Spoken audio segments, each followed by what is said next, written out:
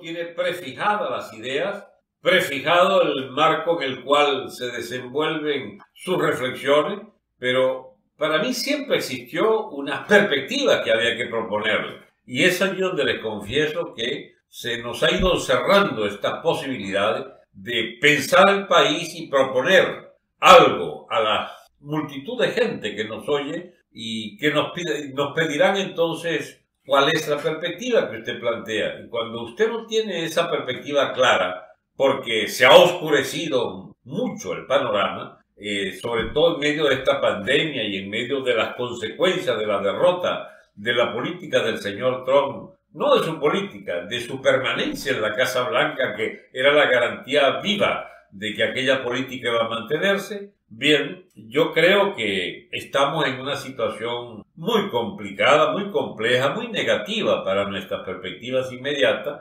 Eso no significa que se cancelen todas las, las opciones, ni mucho menos. En la propia situación norteamericana determinará, por ejemplo, si esta política que representaba Trump tiene algún chance de resurgir. Y todo luce indicar que sí tiene una enorme capacidad, solo que es en unos tiempos políticos que son distintos a las necesidades que nosotros tenemos. ¿Qué es, Venezuela para 2024? Cuando haya una nueva eh, elección presidencial el señor Trump con 76, 77 años a cuesta aspire una nueva elección como si no hubiera pasado este fraude gigantesco que lo condenó al ostracismo y a la marginalidad relativa, porque no han logrado relegarlo a un desván allí de la historia. Es un tipo con una enorme vitalidad política, un caudal inmenso de seguidores y una especie de, de línea ofensiva de su pensamiento y de sus propuestas que van a mantenerlo en pie.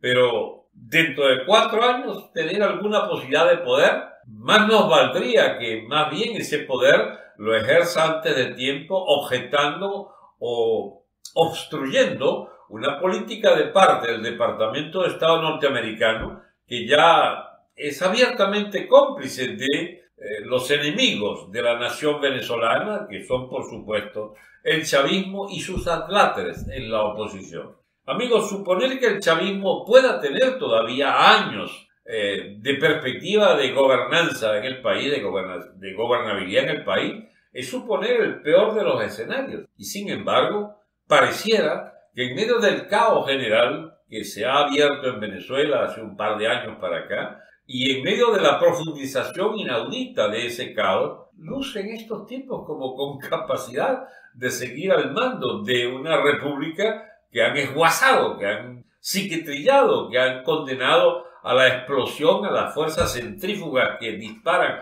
para cualquier lado su capacidad de cohesión. No hay capacidad de cohesión, hay dispersión. Esas fuerzas centrífugas significan que el país seguirá fracturándose y cada pedazo caerá en manos de republiquetas que se armen allí, clandestinas o visibles eh, o, virtuales, eh, como la de Guaidó. La de Guaidó es una republiqueta virtual. La de, la de Yulexi, Coqui y los pranes de Puente Ayala o los pranes allá del sur, eh, los pranes del ELN y de la FARC son fuerzas reales, tangibles, que controlan fuerzas territoriales. El señor Padrino y la mafia del alto mando militar todavía tiene un control sobre determinadas áreas del país, en particular las grandes ciudades, por lo menos el, el conjunto, no la específica parte que ya perdió. Por ejemplo, controlan Caracas, cierto, pero no controlan ni Petar, ni controlan la, la cota 905, eh, no sé cuántas partes de Katia también ya perdieron el control de esto, este, es un hecho que el gobierno se contrae en su capacidad de control y que esa, esa capacidad de control se ejerce a través de la facción del general, del general padrino este, el inútil este que dirige las Fuerzas Armadas. Y por supuesto las fuerzas policiales que están bajo la tutela de una Guardia Nacional archicorrompida que ya hace rato dejó de existir como Fuerza Armada Nacional para convertirse en una agencia directa de los carteles de la droga. Igual que el resto de la Fuerza Armada. No estoy diciendo nada que agravie en especial la Guardia Nacional, porque no se sabe La competencia de quién es más corrupto no se sabe quién ganó en estos años. Y las policías dicen, amigos, esas fuerzas centrífugas que operan para dispersar el territorio y que han logrado el cometido de reventar la unidad del Estado y la República, eso es mucho más grave lo que la gente piensa. Es más grave porque eso significa una ruptura con 200 años de existencia república. Exactamente, con 200, sí, estaríamos cumpliendo 200 años. Desde la batalla de Carabobo, 190 años desde la existencia de la República de Venezuela. Y, al fin y al cabo, ese tributo a, a lo que fue la República tenemos que pagarlo. Y se paga con repetir una y otra vez las grandes tragedias de la historia venezolana, que siempre tuvieron el mismo origen, una élite incapaz de cohesionar el país con un mercado interno, con una, con una fuerza de las leyes basadas en el ejemplo de sus élites gobernantes, tenemos dos siglos de caos y ah, es cierto que hay algunas etapas como la de la dictadura perejimenista o la propia dictadura gomecista o el periodo de la socialdemocracia y de los socialcristianos en el poder del 60 al 98 podemos eh, creer pues, que esas etapas de la historia venezolana no son del caos mayor que conocemos hoy. Es una evidencia. No puede negarse lo que es una evidencia. Este, solamente un obtuso chavista madurista puede creer, creerse en su propio cuento de que estamos mejor que en la etapa de la democracia de Cocopellana o que existimos como una república realmente existente mejor que en la época de Pérez Jiménez o Gómez. No, aquí hubo una ruptura con esa república. Tuvimos la suerte de que, suerte por favor, eh, digamos que la nomenclatura, o sea, cuando se bautizó republicana, esta porquería institucional que el chavismo administra, en nombre de su casta de millonarios ladrones todos, de la alta administración pública y de la alta oficialidad militar, Bien, eso coincide con el fin de aquella república y el surgimiento de esta, de esta pacotilla gobernante llamada la República Bolivariana.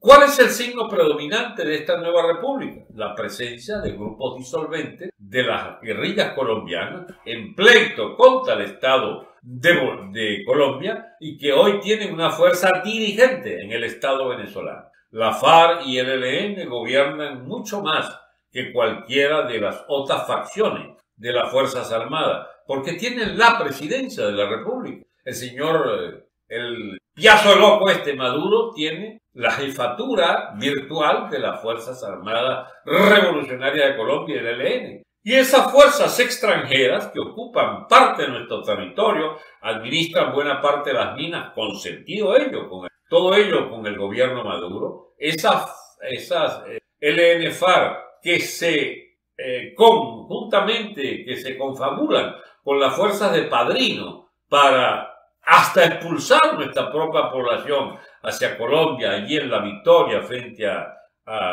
Arauquita, allí en el estado Apure. Esas mismas fuerzas de la subversión colombiana, que hoy pululan en el llamado arco minero o en los grandes barrios venezolanos, siendo una fuerza concurrente, alternativa a la de los planes locales, eso es, mi amigo, el final de la República, como cuerpo institucional pacífico y cuerpo de leyes que aplica un marco jurídico al conjunto de la población. Esto no es una cuestión de segundo orden. Al fin y al cabo, en definitiva, es el centro de todas las reflexiones que uno pueda hacer. El Estado venezolano dejó de existir como entidad a no ser como conglomerado criminal de esa élite, agencia de todas las, de todas las mafias del planeta, de todas las, eh, ¿cómo se llama?, eh, sedicentes, de todos los malditos agentes de la subversión, del AMPA, de la, de la irascible política que acompaña a distintos gobiernos también subversivos, como el gobierno de Irán, el gobierno turco, las guerrillas del Hamas, las guerrillas del Hezbollah, este propio gobierno de Irán. Es una expresión visible de las fuerzas más disolventes. Y China y, y, la, y Rusia acompañan ese proceso. No podemos decir que son los responsables directos. El responsable directo de esta gran torta es y solo es Maduro y el combo de ladrones y delincuentes chavistas que le acompañan. Como soporte político militar policial significativo, el más importante es todo ese paranato político militar, todo ese paranato de narcotraficantes y de agencias de la subversión externa, guiados por la política del Estado totalitario del Partido Comunista Cubano. Esos son los tres factores. ¿Con qué asesoría? La de Irán, el auxilio económico de Irán y Turquía y el auxilio económico de China y de Rusia, que actúan pero en las trastiendas. No podemos decir que es la política de ellos, no, es la política de Maduro y del chavismo y de los Castro, de lo, que queda de esa piltrafa de gobierno en Cuba, los que, digamos, tutelan el conjunto de, de instituciones, es muy grueso decirlo, ese conglomerado criminal de fuerzas que coaligadas determinan el control territorial. Al perderse ese control territorial, mis amigos, estamos en tierra de nadie, estamos en el caos, estamos devolviéndonos al salvajismo, a las fases preestatales de nuestra sociedad. En Venezuela había estado desde 1500 y pico hasta 1828-30. Era el Estado español, la corona católica, y luego la, eh, digamos, replicada esa corona católica en los virreinatos, el virreinato de Santa Fe, eh, perdón, el virreinato de, me equivoco porque es Santa Fe de Bogotá, era el virreinato de eh, Nueva Granada. Este, y ese virreinato de Nueva Granada se convierte en Gran Colombia. Y la Gran Colombia de Bolívar, este, bueno, deja de existir, tiene una vida efímera de apenas un par, de unos 10 años, ¿cierto? Pero este, cuando por fin se emancipa Venezuela, este, y se emancipa igualmente Colombia, ambas élites agarra cada uno por su lado, la ecuatoriana también. Panamá se pierde un siglo más tarde, 80 años más tarde, por la intervención abierta de Estados Unidos en la separación de Colombia de ese istmo de Panamá. Y tenemos entonces que entramos en el periodo este, de del Estado fallido venezolano, porque fue un estado de anarquía interna absoluta y total, igual Colombia, igual Ecuador. Sin embargo, en Colombia y Ecuador había quizás un poco más de coherencia que en Venezuela, pero en Venezuela fue gravísima la secesión de, de la Gran Colombia, como fue gravísimo la secesión contra España. Y esa, ese moridero, esa, esa especie de vuelta y vuelta permanente a factores de crisis y de caos, es lo que dibuja el salvajismo superior, la, etapa tribal de nuestros conglomerados, digamos, previos a la ocupación de estas zonas del mundo por la corona española. Y bajo España vivimos nuestras mejores horas. Me hablo, hablo de una economía coherente, de una economía sólida, con una con una moneda sólida, un comercio mundial que estaba ya en plena expansión en el siglo XVII y XVIII y que significó una vida extraordinaria, sobre todo por los segmentos más prósperos de, esa, de ese mundo de la, de la corona española en América, que lo constituían sobre todo eh, Nuevo México, pero Nueva España, que era México, enormidad de economía para la época que permitía el tránsito del comercio con Filipinas y la China a través del galeón, el galeón de, Manila, que pasando pues de costa a costa de México, no el galeón, sino lo que se transportaba a través de los dos océanos, significó un, un extraordinario crecimiento de la economía eh, mundial. Y porque era ya la circunnavegación del globo.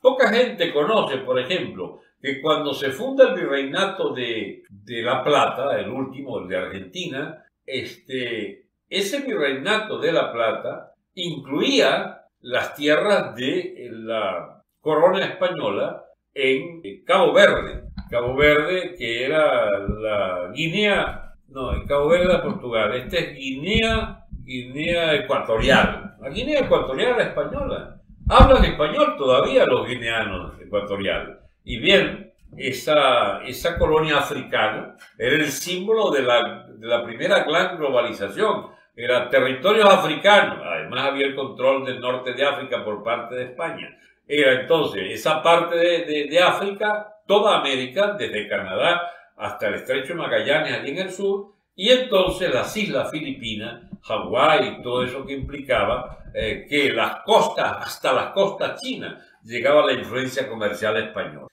Y la comunicación se hacía a través del galeón, del llamado galeón de Manila, que era una ruta pues anual de un conjunto de naves que llegaban allí a España, a perdón, a, la Nueva España, a México, y pasaban por tierra al Golfo de México y a las rutas pues del Caribe y, de, y hacia la metrópoli española. Bien, esa globalización, mis amigos, eh, dejó a América eh, una unidad territorial impresionante. Dejó a, Hispanoamérica con una moneda sólida para todo este territorio y una prosperidad creciente de, sus economías, de desarrollo desigual, por cierto, pero ya había pues puntales como eh, Potosí en Bolivia o Guanajuato allí en México, donde se hacía la acuñación de la moneda del real de A8 de plata y era la moneda que circulaba a nivel mundial, era lo que es hoy el dólar o más poderoso que el propio dólar de hoy,